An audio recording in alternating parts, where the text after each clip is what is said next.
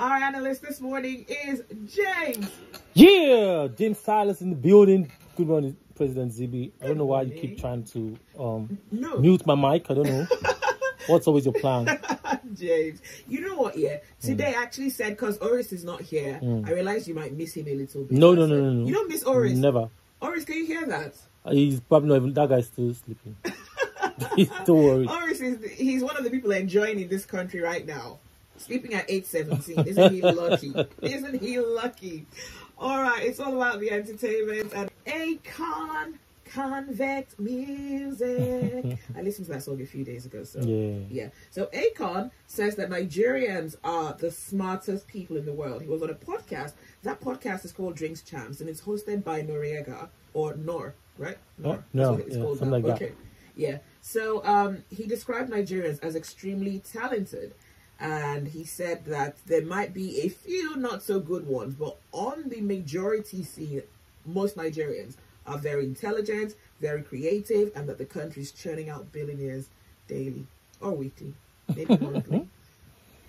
I mean, it's not even supposed to be news. I don't know why it's in the news because everybody knows that. But um, like you said, there are a few people, but I think it's even way beyond. Because what's the point of having a lot of brilliant or smart Nigerians when you know the smartness is not reflective on our is it the economy, is it our technology, is it we just don't have really much to show, you know. But people definitely are thriving or you know looking for ways to survive in this our this enabling in quotes environment. But um, Wow. I mean, but it's a good thing to you know. It feels cool sometimes when people say, "Oh, Nigerians are very smart people," and blah blah blah. But you know, I just feel like sometimes the tongue in the cheek kind of statements where they just look at us like yeah, people are smart, but I, I don't know. Akon was saying it from a very good place. Yeah, no, no, I, I don't think that he is. It's not. Uh, he's not. He wasn't lying when he said Nigeria. I'm saying that not. That's something we hear every other time. Right. Yeah, but it's sadder when you are here and you know people are saying this about your people or about you, but you really, really, really don't have, you know, you can't really even say that for yourself with the way things are happening or the way you know the results that, or you know the the news or the reality that you have to face even as a Nigerian living here in Nigeria and even um, you know out there when you go out there. So that, that's why I said just sometimes it feels like like you know when some people somebody say "You- they whine me, you know, but because there's really not much to show. So even maybe a lot of Nigerians are smart, yes, but um, I don't know about our. I can't say So how so much about our leadership. applied? That's what I'm saying. That's Right. leadership is Now, um, it's I questionable. think about two weeks ago, Izzy, um, the fighter, Israel Adesanya, Yeah. he was on a podcast. I think it was the Joe Rogan podcast, Mm-hmm. and Joe Rogan said, asked him about Nigeria and brought up the scam idea, and it was Yeah. very embarrassing. But Israel is such a smart dude because he turned that question around and used his answer to highlight how amazing and intelligent Nigerians are. He even spoke about being an average student in Nigeria, and when he moved to New Zealand, he was the He was like a smartest. genius. Yeah, That's the facts. That's the truth. So I mean, the things that the way a lot of people were were raised, you know, here in, in Nigeria, um, you're just meant to be smart. You're just built to be, you know, the environment will teach you to, you know, buckle up, regardless of what the situation is. Is I mean, a lot of times it's beyond one plus one is equal to two. You know, it's um, a lot of, in, in a lot of, in, in various ways about our smartness as just bare humans. You know, outside education or your qualification. You know, we are just street smart people. We're just smart people naturally. But the questions um, still goes back to when we are smart, how are we applying it? What are we using it to do? You know, both as a people and as a nation. You know, which is why you know it's easy to say, oh, they are smart people, but only they could channel it to you know more positive things. Mm-hmm. You know, but that's what I'm saying. That if you know when they say, oh, Nigerians are smart, just like, oh, tell me something else that we don't know. All right, now we're coming back to some beef that we thought was long settled, long forgotten, long dusted, buried, and well, it doesn't seem like that has happened. Comedian AY has spoken about his lack of relationship. I was I was going to say relationship, but there's no relationship, right? Between uh, himself and other comedians like Basketmouth and Julius Agu as well. So this is like a flashback to conversations we had a few months ago Mm-hmm. when everyone was stating what it was that AY had or hadn't done. And AY is now saying, you know what, this is it, I'm good. So at this point, I think they should let even this um, the story or the situation rests I, I don't even. They should stop asking AY about his relationship with Basketmouth. They should let it, we are done with that whole conversation. The truth is that at the end of the day, you cannot force you cannot force a relationship between yourself and another person. I'm not saying he's trying to force a relationship, but he wants just all I feel like what AY wants is just a level of acknowledgement, you know, or a level of acceptance from um Basketmouth, which may never happen. You know, I feel like they've crossed that there's a line that there was probably a line that they've crossed that they cannot go back to. Um Basketmouth has said before, oh, he doesn't have beef with him. He doesn't, you know, we've seen the various interviews that they had, they've, um, what's called, you know, sort of had with different, on different platforms. And at this point, I feel like I acknowledge you. I feel like they, um, Mouth may have acknowledged, I know this guy, but there's nothing, we are not friends. We, and I think it's accept, it should be accepted. It should, it's something that happens. We can be colleagues, we can be in the same industry, but our path doesn't need to always cross or I don't need to be your friend.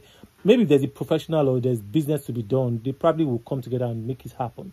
But maybe uh, the whole, the usual, call on or check on this person as my friend or somebody who I care for may not just be there. So, and I think they should stop asking AY questions about Basketmouth and stop asking Basketmouth questions about AY. These are two grown adults. If they need to speak to each other on a certain situation on, any level, they probably will. But I don't. I feel like the media should let them be. Stop talking about them. Let them be. You know, the same and um, with AY and um, Julius Agu, same thing. We the simple thing I I I picked from the Julius Agu situation was that whole AY live, um, having AY Yeah. live on Easter. I don't think by this in 2023, um, Julius should be holding on to that situation. Like if they say what's happened with you and you want to be going back to that same story, no, they should leave them alone. They're adults. They should stop coming to the news anyway and stop granting those interviews, please. And uh, maybe if they ask them those questions, they can simply say no comment. Yeah, we- like go back to previous interviews. I've answered this question in previous interviews. Go and watch and Does stop it really mean me. that there isn't much going on in, you know, within these guys' professional, personal spaces that the, the, the conversations always revolve around ancient history from 20 they don't ago? need that's what i'm saying that Yeah. they don't have to have we don't need to be friends we have look there are a lot of people that come to mind even in this um the media business uh, uh, and even with you know as as as a colleague um look at we come here on thursdays every other time to host this show together as you know as colleagues and friends but truth is that how many times do we really have to say oh zibi how are you you don't chop today how are you doing how's your health do you understand James, stop Yeah. giving away the trade secrets. no, but okay. that's that's what you should. Okay, All get let's move on. Good. that don't mean that I don't care for you. You know, Of I don't. I care about you, but a lot of times, but you know, we just do that. we go about our business and do what we need to do. But if you're out there, you're if, if you stay there and you really want, I don't know if it's validation or you just want somebody to acknowledge It that comes in, I think it's validation. you don't need way. it. Move, keep keep it It moving. feels like I um AY needs some validation. That's what I'm saying. They should stop asking me this question. Look at he did one of his um, sets, um, AY Live, where he said, um, in case you see Basketmouth or something that who is your guy? They played one music and like I care. That, do you understand? But Mm. Nobody cares. You people should move on. Focus on your business. Don't worry about Basketmouth. Basketmouth too is already doing his own thing. Stop granting interviews about your relationship or your Mm-hmm. friendship. Tell the interviewer, please, if you're going to ask me anything about Basketmouth, I'm not going to answer. So don't bother. That's what they should do. And let's keep it moving. Let's keep it moving. Tayo says Nigeria is always good to hear on podcast. It's the practical aspect where we live in that we show our smartness. The economy will teach you. Uh, Tayo says they Yeah. should boil the beef, dial it down before it chokes. AY is just stretching himself over the issue. Yeah. Francis says, well, people from the abroad just see Nigerians as people with superhero powers to really thrive and overshadow their counterparts. But it's the Nigerian system that we experience here that makes us great in a better and developed Hmm. climate. Daisy says, please validate yourself and let us rest. Thank you. Message to AY. okay. Media personality Ebuka Obi Uchendu has clarified that he'd rather be rich with a successful career than famous. Mm. I mean, we've talked about it here before, and I um, shout out to Oris, who actually pointed the fact. Oh, James Mason, by the way, Oris pointed the fact that um, Ebuka is one celebrity who you really wouldn't find much about his personal. If you Google, do whatever you want to do, you really won't find much anything actually about Ebuka's personal life out there. And I think that that's a level of um, it's a skill. It's something that people need to study. In you know, however you're going to study it, that you should keep your professional life separate or away from your personal life. You can hardly pin anything on Ebuka. You can hardly find him outside. You know, even partying or say he's in a club and you see him drinking or you, you want to, there's, you can hardly peg anything on Ebuka. Mm. And I feel like it's a very, very smart thing to do. And shout out to him. I mean, however he's been able to, it takes somebody who's really, really disciplined and grounded to be like, Ebuka is a family man who's married and has, you know, a proper family, but you cannot really draw. It's, it's, it's a genius move. I mean, I, I, I admire him for that. Now, Adekunle Gold and his wife Simi are set to release a single, which actually is their first single in seven years. Look, I love this. Like you see, when I when you talk about Adekunle and um, Simi, that's um, my, one of my own. Um, you know, they are like a power couple to me. These are two very talented people. You know, I love the two of them. I love their relationship. Um, but before marriage and even after they you know came together, and it just shows you how how powerful they are. You know, I saw the clip where they were um, probably recording um, for the particular song that we're talking about here, and um, yeah, I, I, didn't even realize that it's been up to seven years since they did a song together. And you want to assume that these guys they live together, they can just hit the studio at any time. They have a studio in the house and just go and record and just. I, I can only imagine that they will have a lot of songs. Now, Simi has done like an EP or a project mm-hmm. or a body of work with um, Falz, for instance. But we really don't have that um, and Adekunle on a project. I don't know what um, project is coming. I don't know if it's just a single. I don't know if it's an EP, you know. But it would be nice to actually have both of them on, you know, to create like a body of work. I think it would be.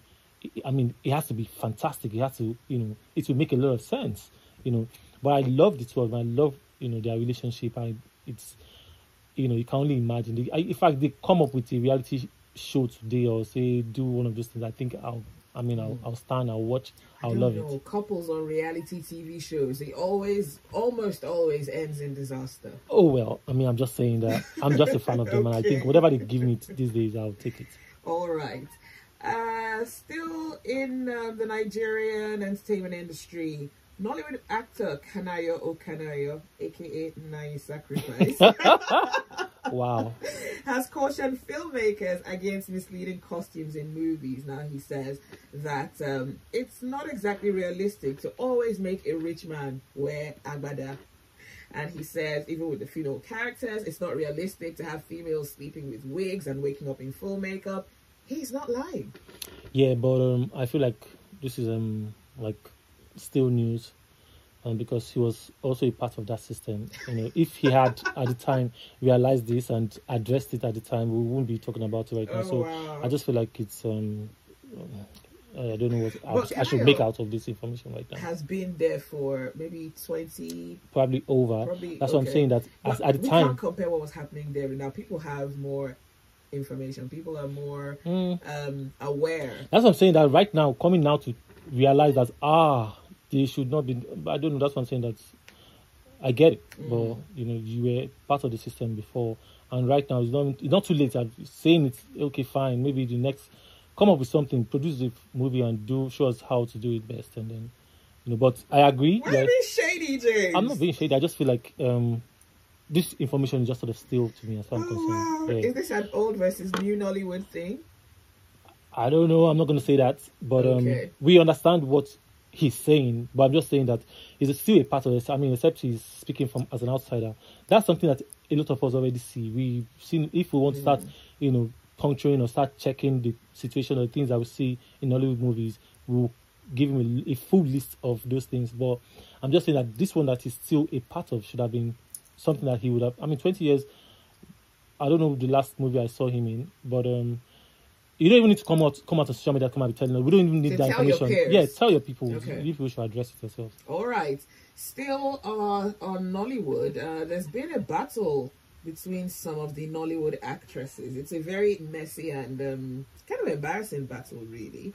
And three Nollywood actresses are involved in this thing. I know there's an Angela. Actually, in some ways, just one Nollywood actress attacking two other Nollywood actresses who are or were her friends, and they haven't actually responded.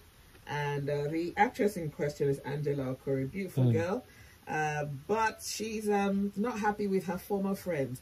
So this makes me question again: when you guys are friends and everything is good, there is, you know, life is beautiful. so when you guys have a falling out, do the rest of the world really, Need to know. Yeah. I mean, social media has become not not really a safe safe space, but it looks like a nice platform as it is to vent, and you come out and you know drag everybody and call out whoever you need to call out.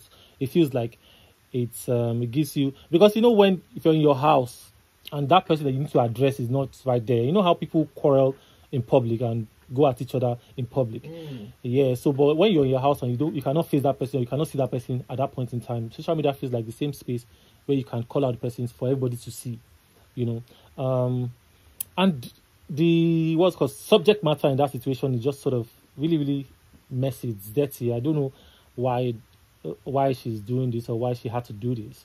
But I mean if you're seeking attention, sometimes social media can help you. If the person is not responding, their fans will go there and And mention the them person, "Oh, and say see see see and all of that you They're know but you. it's so dirty so messy and some, sometimes um, i just don't want to think that the representation of what happens in that industry but this is really really bad to see i mean in line of this same kind of um, accusation of you know the story I, there was one girl one random girl i saw on social media as well yesterday who was calling out um eniola badmus as well and accusing her of of um, pimping Oh wow. yeah, pimping um, girls. Um, according to her, girls who's done some kind of um, cosmetic surgery, Okay. so to speak, and then that she pimps them to um, big politicians or big Wow. people. And her, now that's one of the reasons why she moved to Abuja and blah blah blah. And you know, it just sort of it's you know it's a messy kind of just um, wonder why are all the messy situations always linked to one certain area?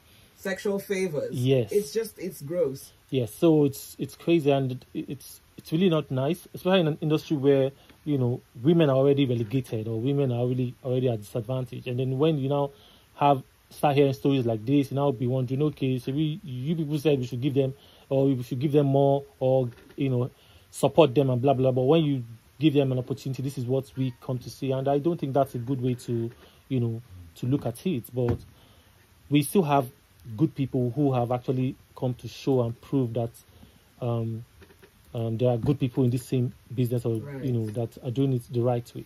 But you can never actually ignore the fact that um, some people just like to take it the other way um, or the negative or portray or sort of exhibit who they are regardless of what the opportunity is. But um, last last I still say that it's a question of choice. You know, if you Mm. come out, if you have an opportunity, or if you are in an industry where you are supposed to portray or showcase talent, basically, um, don't convert it or don't take advantage of any other situation that might arise in that same industry. I mean, it's difficult to work for me. I, just feel like I'm going around circles. But bottom line is that keep your dirty linen to yourself and free and not stain the people that are doing the job professionally. Okay. Uh, finally, let's talk about um, Gigi Hadid. Now, the model was arrested in the Cayman Islands. Now, apparently, she was traveling from the US to the islands with drug paraphernalia. And she was arrested after they searched her luggage at the airport. Now, she's out of custody. The beauty of being rich, famous, and having extremely even richer parents. Hmm. But um, it makes you wonder about the stereotype that people have where they associate models and fast living, like drugs and things like that. It's not just models, also about celebrities. Actually, Mm. I was listening to one of them, um, Kevin Hart's interview. Not, no, it wasn't an interview. It was like he was on a stage. It was a performance where he was talking about how when he's traveling, some of his friends that travel with him, or he travels with some of his friends, and they will always have drugs and have these things, and that he that they were going to I don't know which country he said, and that country they, they it might be they might take you to jail or maybe shoot you or well there's something about Oh wow. or you know I don't know which of I can't remember but Maybe the Middle East. I don't know Far I, East some, so something like that Right. so but it was a no nonsense no nonsense situation where if he catch you with or find drugs on you you know and he was talking about the fact that that's something that they always do that you know they because they they and they say Kevin you hold the bag because you have you're the popular face hold the bag you know and, and stuff but yeah, I think it comes with the territory. It's um, something that we find or we hear every other time, you know, with a lot of celebrities.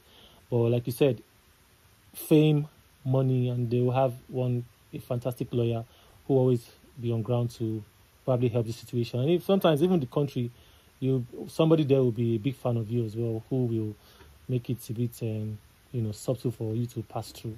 Last, last, you pay the fine and keep it moving. So, but um, I mean, it comes with the territory, I believe. All right. Uh, special thanks to our analyst this morning, James Silas. Yeah, thank you for listening. Thank you the for James having me and today. Oris show on YouTube. You too. Please subscribe, comment. Let me know what you think about today's show. Um, share with your friends. Let everybody know that the James and Ori show is live here on YouTube, and we'll see you on the next one. Thank you.